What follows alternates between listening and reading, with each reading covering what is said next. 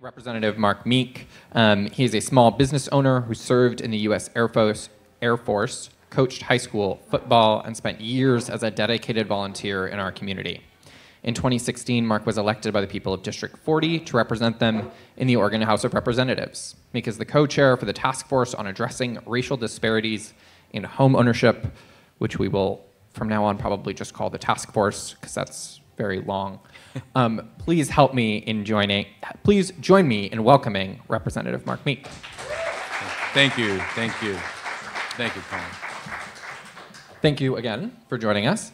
Um, so I want to start maybe with kind of the simplest question, which is how did we get a task force on racial disparities in homeownership, and how did you find yourself co-chairing that task force? Very good question, and um, as actually in 2018, it was one of my bills to establish this task force. I'm a realtor. Uh, Chris, hello, Chris Bonner. She's a realtor out there too. Appreciate that. And also want to recognize uh, State Representative Alissa Keny-Guyer, the chair of my Human Services and Housing Committee, here tonight. Um, and it was actually through working with uh, uh Representative Keny-Guyer and other housing advocates that we've recognized that there are major disparities in home ownership of, of people of color in the state of Oregon. And so I uh, got the speaker's uh, support, Speaker uh, Tina Kotek's support, and established a bill that is, well, I um, sponsored the bill that established this task force in 2018, and it was approved and funded. And so since 2018 and through last year, we uh, worked with the task force to, be, uh, to develop this deliverable. So that's how it was started, but definitely there's a lot more background behind it. Oh, I bet. Um, so uh, help us, help ground us in, in the scope of the issue. And so when we talk about racial disparities in homeownership, is there a slight disparity? Is there a big disparity? Is it urban areas? Is it statewide? So what's the scope of the challenge we're trying to tackle? There's, it's a large disparity. So if you take the full population of Oregon, there's about 4 million you know, folks. And if you, take if you look back, if, if you pull and extract how many um, Oregonians are actually homeowners, and you remember you have families, so those 4 million kind of aggregate down into homeowners also. And uh, so the state of Oregon on average has about a 63 or 62 percent uh, rate of homeownership of all of our population. So if you uh, disaggregate our, our, white Caucasian population, um, in, in 2017, about 65% of the, the full white Caucasian um, uh, folks were homeowners. Now, the, if you look at um, our African American population and their full aggregate um, grouping, there was 35%. They were 35% homeowners. Mm-hmm. Hispanics were 43% homeowners and 46% for Native American. But even if you look at the 46% for our um, Native Americans compared to the 63 and 65%, that's a big disparity. And if you look at our, our uh, African American black population, that's almost a, a half percent. Mm -hmm. So there's large disparities and um, what we discovered through, I'm, and I'm a realtor, i have been advocating and, and working with anybody that wants to become a homeowner. I, I love it. I think it's the American dream, and I think it's, it's the way that you actually build intergenerational wealth and how you can help your families and, and just you know, really help the future and your own future, your own you know, benefit and self-worth. And uh, to get into this task force and the work we did, we discovered that you know, basically the systemic discriminatory practices that Oregon had, adopted in its inception um, that wouldn't even allow like uh, Native Americans to own a home or even live in the state of Oregon. Uh, there was a lot of um, a lot of uh, basically violence against folks, including African Americans, could not live in the state of Oregon, and um, it, those practices and policies and attitudes um, people say, well, it's, you know, it's 2020 now. Um, things have changed. We work with fair housing laws and ethics and things. And you hear words like redlining and steering. Oh, you don't want to live in this neighborhood. That's not going to be good for you. Uh, I was actually working with uh, one of our other representatives that came through our committee. Um, there are um, covenants, constrict, covenants, uh, CC&Rs, covenants, conditions and restrictions Uh, too many details going through my Yeah. head right now. But uh, there's actually still on the records in Southeast Portland and Bend that have uh, restrictions and line items that say no uh, African Americans, no Chinese, no uh, Hispanics can live in this neighborhood um, or can be on these, you know, on, in these neighborhoods after five o'clock or six o'clock crazy, and they're still written. And when I work with my clients and we do a title re- uh, title report, and I'm going through those details with them, I'm looking through these just horrendous uh, statements, going, "Well, these those are illegal, so they don't, you know, they, you don't have to enforce them anymore." Well, we did put a law into effect in 2018, I think it was, that gave more ability to have those um, conditions struck in from the record and wiped out there was some, you know, some argument saying, well, it's better that we should learn from our mistakes and be able to see those still. I think actually having a, a homeowner, you know, that's looking at a neighborhood that they're trying to, you know, loop, move into and, and adopt and, and feel proud of, seeing that language does not welcome them. And so I think it's, we, that's some of the things we've done. But those practices and those attitudes um, are pervasive and persistent and they're continued. If you, um, the uh, Oregon Historical Society just released uh, uh, their winter report uh, called "White Supremacy and the Resistance," and uh, started uh, reading that. I was just came out, and uh, one of the things I noticed was that part of our Bill of Rights, Oregonians' Bill of Rights, when it first was in you know the organization of the state of Oregon, the Bill of Rights had language in that it only pertained to um, uh, any foreigners that were welcomed in were only white foreigners. And uh, th- that language stayed on in our Bill of Rights in our Constitution until 1970. So only, you know, I was born in 1964, and so during my lifetime, that language was still as part of our Bill of Rights and our, our Oregonian history. So when people say it's, it's ancient history, I hope I'm not that old and ancient that they. But there's, uh, so I know I'm, this kind of going on, but Colin, I'm happy to answer any more Yeah. questions. Or, yeah. I think um, so. In sort of doing a little bit of research ahead of today, um, I found a quote from you that I found striking, um, and I'm going to share that. And I apologize. It's always awkward to quote someone in front of them, but I think it's important. Um, and so you said to the Skanner, "I'm so pleased and proud of the work and commitment that all of our members put into this very difficult and potentially polarizing work." And so I was struck by that last piece. What the data you lay out is really clear. It's really objective. It seems really straightforward. There is a disparity. It's rooted in the history of the state. What would be polarizing about that? It's it's interesting. Um, we are we're living in a world that uh, expects you to take responsibility for your own self, right? And and actually, I'm a this funny. We're sitting here in my old high school that I went to for three years, and they shut down. But it was a wonderful experience in education because we had uh, all kinds of folks of color. Uh, with Hispanic, we had African American, and actually, even more interestingly enough, we had refugees from uh, Vietnam and Cambodia. And I remember sitting on our stage watching some of the um, native uh, Cambodian dances, just as, as a 15 year old, just uh, in awe and of the beauty of what they were expressing. And so uh, I really, at that early age, I learned, you know, that. Um, that we all uh, we're, we're a big world and there's a lot of us and i think if we all listen to each other that we can you know actually help and support each other much better. But the attitudes out there is that hey you have the same chance that i do to get a home go out and get it get a job. So it can be polarizing and what happens is the folks in this state that um are trying to get ahead have uh, faced you know it's like playing monopoly uh, you get sent back to jail. You need to go past go, and you don't get to collect two hundred dollars. And uh, so it's you you get it's it's harder to start from scratch and and to begin and get a chance. So I'd love to talk more about some of the programs we're in, involving with this that will actually help some of our our uh, families to achieve Amer- the American dream. That's absolutely. So last fall, you published a list of, I think it was 13 um, preliminary recommendations. Yes. Um, I'm not going to ask you to go through that full list. Um, I would recommend reading the report um, if folks are interested in the details. But are there key pieces that you hope to convert into legislation and policy um, this session? Absolutely, and we just uh, passed out of the committee this uh, afternoon with uh, Chair Keny-Guyer out there and our other committee members.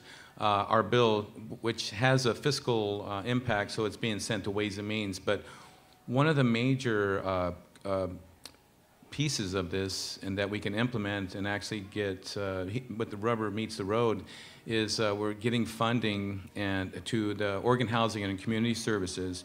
Oregon Housing and Community Services is a state agency that works with both helping with our homeless, helping with down payment assistance, helping with keeping people housed. And so it's through them that they work with a lot of our nonprofits like Habitat for Humanity, Proud Ground, the Community Land Trust. And so we are funding, and we're going to be providing. Um, we're look. Hopefully, we're shooting. I'm shooting for 11 million. I know that uh, Representative Keny-Guyer out there shooting for 11 million, which is just a drop in the bucket. And let me go back to that. During our task force, we looked at this number of folks, and if we were trying to make a dent in next in the next 10 years by 2030, how many lives and how many folks would be need to help per year. And we broke that down, and, and basically the 11 million is just a starting point. Mm. And we need to invest those types of dollars for the next 10 to 15 years to really make a, a serious impact. But I think if we are able to invest those dollars, part of those programs include education, financial uh, opportunities, and, and credit restoration and credit. Um, mm um, help with your credit scoring. For example, if you're a renter, you're not getting those high, high uh, ticket item um, credit you know, points, but we're looking to actually give you credit for your rental payments, have them reported to the, um, the big three, and it will allow you to bring up your credit score. And it will actually show lenders and mortgage brokers that you can afford a big ticket item, and then we just need to help them with the down payment, down payment assistance. And there are some individual development accounts, they're called IDAs for short, and uh, we are looking to fund those where if you think about somebody that's trying to save, um, saving ten to eleven thousand dollars could take ten years for some people. If you're only making thirty to forty thousand, saving anything is almost impossible. But with these IDAs, if you're able to save maybe, say, $500 that year, the state of Oregon with these IDA programs match, and they can be up to a three to four times match. So that same $500 turns into 2,500, mm-hmm. and then if it's $1,000, you're going to have 5,000. So we were able to leverage those dollars. We're actually helping um, folks to really learn the disciplines of basically budgeting, saving money and being prepared for a rainy day because being a homeowner brings a lot of responsibilities but it's it's not until you're able to get into the game that you can understand that and appreciate it and people have you know are really proud of their possessions and i know once we get folks the opportunities that it's going to make a big difference in their lives and their family and their their, their children's and absolutely families. so um, big investment in IDAs, in Oregon Housing and Community Services, and the nonprofits that house folks and help connect folks.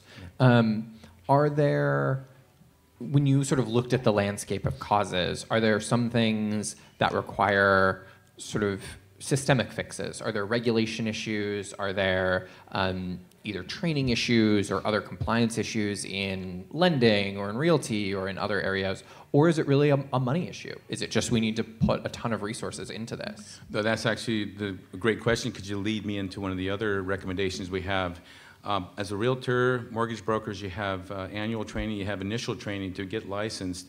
And we put into statute that the Oregon Real Estate Agency, the, the um, commissioner, that part of a professional becoming uh, trained to become a realtor, or well, not a realtor, but a real estate agent, that you have to have this training, and we're gonna we made it uh, mandatory that they actually have to take this training, implicit bias training, mm. understanding discriminatory practices, understanding where we are at with these numbers, why they're important, mm-hmm. that uh, the marginalization of it is is real. So it's not just a theory that we want to show them the numbers. And then also uh, Department of Cons uh, Consumer and Business Services, DCBS, they uh, uh, monitor and they work with the mortgage brokers and mortgage lenders. So we are, their education requirements are going to be the same.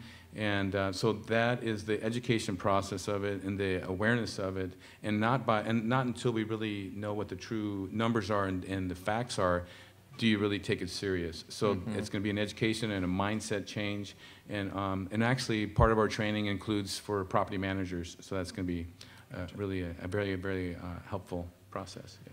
So when you sort of walked us through those statistics, you highlighted in particular um, African American communities and Native and tribal communities where there's sort of particularly big gaps um, or barriers. Um, do you see these kind of two main sort of deeper financial investment on the state's part, additional training sort of across industries? Will those two strategies sort of lift all boats, or are there specific strategies for supporting African American homeowners or Native homeowners? That um, it well, part of uh, the programming with OHCS is well. First of all, you're right. It, it, and it's interesting. You may, you you you said you know raising all boats, a rising tide. And it's true in some cases that it will raise all boats, but if your boat has a hole in it that you mm can't fill, or if you have anchored into a bad spot, um, you don't get the same advantages. So what we are doing is um, the through this programs and through these program these this programming with OHCS and different nonprofits, we're able to um, both uh, not only um, change the mindset and attitude, but give more hope for opportunity. And uh, through the education, through the outreach, we're, um, we're very tapped on the individual development accounts. It's probably one of the best resources for families to, to get the money and funds they need. So we're trying not to promote it too robustly right now until we have enough thorough funding because sure. we hate somebody to come to the line and say, I want to get into this program, but we're sorry we don't have enough money to really right. support you right now. So those are the ones we're part of, our funding is we start have to targeting that and um, Representative Keny-Guyer, she's been just amazing. She's a champion for housing. And what we really need here in Oregon is a dedicated uh, resource and fund funding mechanism to help for housing and affordable housing and for our uh, folks that are struggling with uh, houselessness. So we don't have those avenues. We have to pull from the general fund. And uh, so as soon as we can come up with better ideas, mm-hmm. and she's had some great ones, they're hard to implement though, and it takes a lot of political will and back. Yeah. yeah. But uh, it, we're going to actually miss her ideas and, and her, her championing, uh, championing of uh, these many great programs. So. Absolutely. Um, so one of the challenges in housing policy in general, but particularly homeownership, is that some of the strategies is that we rely on housing both as basic shelter and as a wealth generation tool. And so a lot of the strategies that makes housing more affordable and accessible as shelter also dampens the wealth generation effect, right? So if you rapidly and dramatically increase supply, housing costs go down, that hurts people's ability to build equity, right? Like, mm-hmm. but it becomes more affordable. Is that something the, the task force grappled with? And is that something you're thinking about, like the tension between accessibility and wealth generation? That's actually, well, it's a really good, uh, good point and good question. Um, we've I study economics and I study the market trends, and I'm always worried about. We, I suffered and, lived through the uh, the Great Recession, which was really housing related, and I helped many folks go through foreclosures and short sales and tried to keep them in their homes. One of the biggest my pet peeves was these. We had these. You know, hundred billion dollar bailouts that were to these mortgage brokers, mortgage companies that were supposed to help families refinance and re-amortize, reorganize their loans and I actually sat in meetings and on phone calls hours and hours working with people trying to help them to get the opportunity to do so, to have them go through months of work and applications and return phone calls and missed mails and oppor- to just be denied mm. because they missed it by a day or they didn't they weren't qualified enough that was ridiculous because they ended up losing their homes. Mm-hmm. And now mm-hmm. these same folks, if we would have helped them with $10,000 back then, could have still been homeowners, could have been healthy. And, and so back to the, um, the, uh, the appreciation rates, the, uh, the market with, we are in such a uh, negative supply and mm-hmm. we have mm-hmm. high demand that there's nothing, on average, if you look historically since the Great Recession of 1930, mm. that homes have been on an upward trend of appreciation at the range of 3 to 5 percent just historically, and you can go back through 2008 and the drop and loss of about 50% equity. We have already recaptured that, and as where people are gaining above those numbers. Mm-hmm. So the supply will actually actually it probably will be for you know if we can actually bring the supply on. Right. It would probably lower, or probably kind of keep a steady market rate and but not go negative at all. It won't lose. Nobody will lose pop- property value. It just probably won't gain at the same rate that like just a few years ago was up to 10 double digits 10 and 12 percent right now we're looking more of a healthy you know appreciation market which is about 3 to 5 percent and so I don't see it uh, damaging or the equity opportunity. It's, it's, it's, it's, Yeah. it's, it's a great uh, just opportunity. Yeah. Awesome. Thank you so much. I am again getting flagged that it is time to wrap up. These 20 minutes go by so fast. Um, I want to especially say that we are so grateful um, for everyone who made tonight's program possible. Thank you to our speakers, Representative Mark Meek, Jana Gastelum, and thank you to all of you for joining us, and thank you to the Portland Housing Bureau and Oregon Community and Housing Services for sponsoring. We invite you to stay and continue the conversation. One more round of applause for both of our speakers. Thank, thank you. Thank you. Great job. You too.